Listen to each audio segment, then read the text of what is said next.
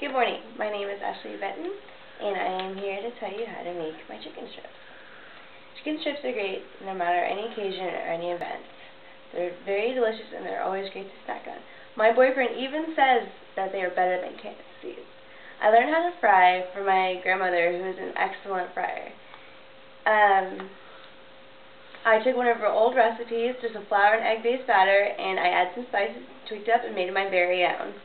One thing we always need to remember is to wash your hands just in case we have any transfer bacteria. We do not want that. Germs are very bad, especially with all the flus and stuff going around. A couple items that you're going to need to start you off is a cutting board and a long serrated knife and two bowls. To start you off with just some optional ingredients is, or for some regular ingredients, get flour, salt and pepper, accent, and seasoned salt. Those are definitely a must for a really good base coat for your chicken. Some optional ingredients are things such as um, smoky mesquite, Creole, Creole seasoning, and chicken rub, which is what I use. That just sasses up the flavor very much. What you're also going to need is eggs, and later on I will tell you a more healthier approach to your batter if you would be interested in hearing. For your chicken, you can have a choice of either frozen or fresh. If you would like to go for the cheaper um, output, you go for the frozen breast because you can get probably about 12 breasts for about $5, large breasts though for $5, and a frozen bag, but the thing is you have to defrost it. Make sure if you're going to defrost, plan 24 hours ahead, and if you're going to defrost the microwave, you may do that too. Your best approach, though, is definitely the fresh. You're always guaranteed the best um, quality chicken if you do that. What you need is definitely some type of frying device. I have myself a deep fryer. You can also use a pan on top of the stove. If you do that, make sure to always use canola oil anytime frying, and you're going to fill that pan up about one and a half to two inches deep with oil. Um, according to the Heart Foundation, frying guidelines must say you never use tainted or dark oil. If you happen to turn the oil on and to smoke, throw it out immediately. Okay, what you're going to do is you're going to start by adding about a cup of flour to your bowl.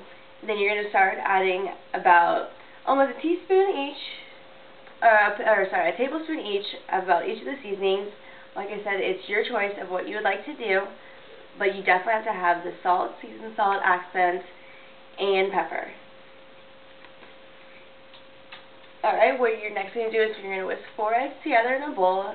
If you'd like to get a more healthier approach and use white eggs, you can do six to eight egg whites.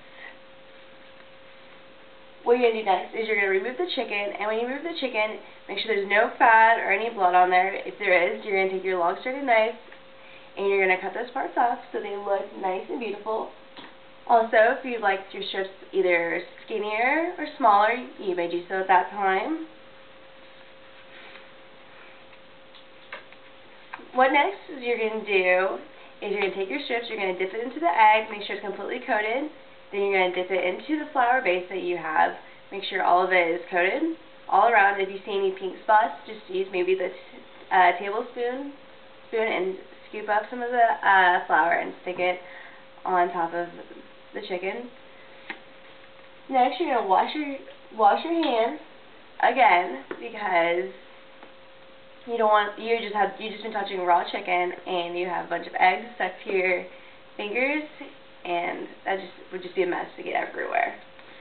What you're gonna do next is the frying process. What you're gonna do is to make sure never to lay the strips on top of each other. It, one, it ruins the batter, and two, your chicken will not cook fully uncooked or unfully cooked chicken is a really, really bad thing. You can get salmonella poisoning, and it's not healthy for you.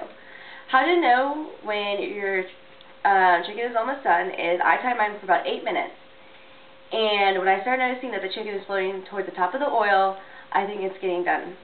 And what I need to do is there, you take the chicken strips out, and you make sure just to cut one piece open, make sure there's no pink marks. If it's all um, white meat, you're good to go.